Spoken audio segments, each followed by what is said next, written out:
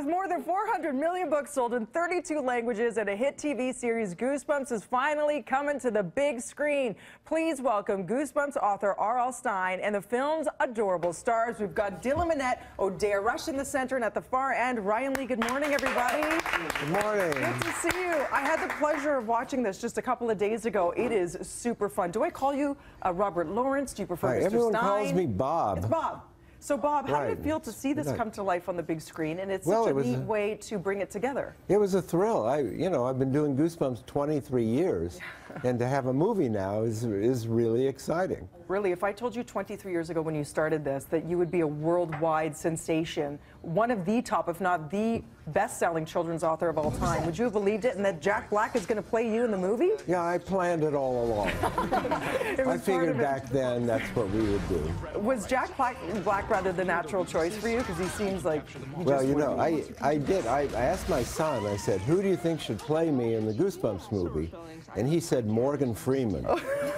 so, not, he wasn't very helpful, Yeah. was he? So Dylan, talk to us about your character Zach, which is pretty much where it all starts. Is with you coming to a new town. It's a fictional town. Right, that's right, yeah. And uh, he meets the, uh, the girl next door, Hannah, who Odeya plays, and they, they form a bond right away. And, and um, she's a very mysterious father who later turns out to be R.L. Stine. Yeah. He was just screaming one night and he wants to help her out. What I love about your role, Odeya, is that you are a fierce female in this. You're not just a beautiful damsel in distress. So what was it like working on set? I mean, what's it like during lunch break when they call cut, we break? Are you surrounded by ghouls and goblins? Yeah, they all kind of, it's kind of like Mean Girls, you know, that opening scene where it's all the different tables.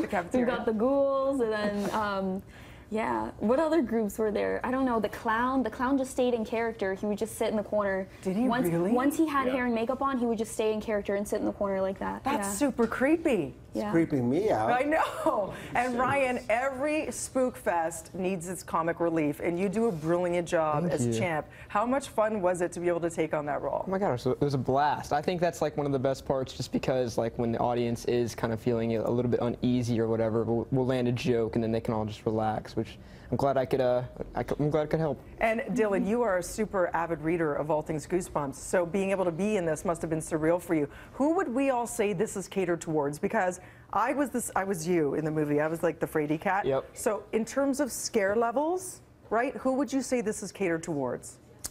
It's well, it's hard to say. It's a family film. What we need to get people your age and people who grew up with Goosebumps. All my '90s kids who Yeah. grew up with it.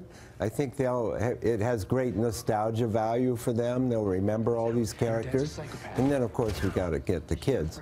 And it's perfectly fine. It's not too terrifying for kids I at feel all. like I feel like if they're not familiar with the books, watching this movie is going to make them want to go back and read because it hints at all the monsters being unleashed all at once. And dare I say, without giving away too much, it leaves way for a scarequel, for a frequel.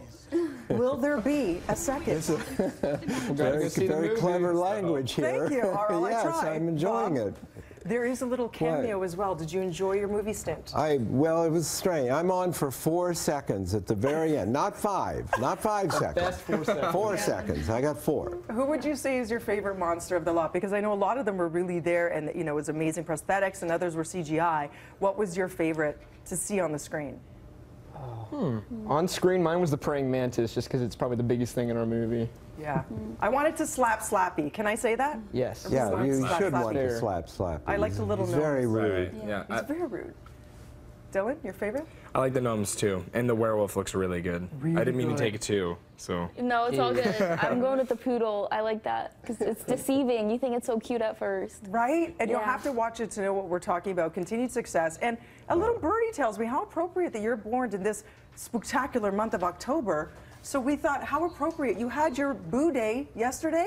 Yes. Birthday? Yes, yes. Well, oh my God. Look what What's we happening? have here for you, No, this is- Stine. We have got Whoa. the scariest cake ever, and we've got the, This the is- clown does stay in character. He has not spoken since he arrived. Method clown. Happy Boo Day. So you- oh, he does Oh my God. So you'll That is a very scary cake, I have to say. There are some say. worms. There's it's chocolate inside, Uh-huh. it is, Is it edible dirt. at all, or is it Ah, just that's scary? the scary part. You have to just tempt fate. go Apparently, there's a rotten egg in there somewhere, so whoever gets that piece is going to be spooked out. Enjoy. Happy I'm birthday. honored. I was truly honored. Does anything actually scare you as No, one who's been able to nothing. spook the heck? Nothing. Nothing. Nothing. That's See, it. Nothing.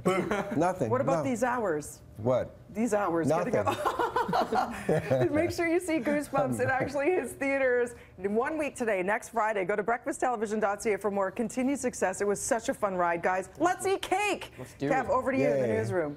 We're gonna eat it with our hands. Scary. Now, uh, Dina, we need to mention though, could we remind them of the personal touch in there? We didn't just go to some bakery and buy that.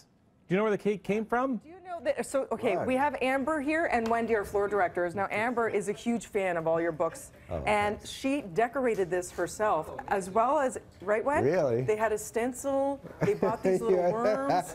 This is, and you know what? I, This is really. and I baked it. That's truly scary. That's why I asked if it was edible. Oh, thank you. You know what? No, but these flowers are. Enjoy. Happy birthday. It's lovely. Make sure you check out Goosebumps. So it'll give you just that next Friday. Kev, back over to you.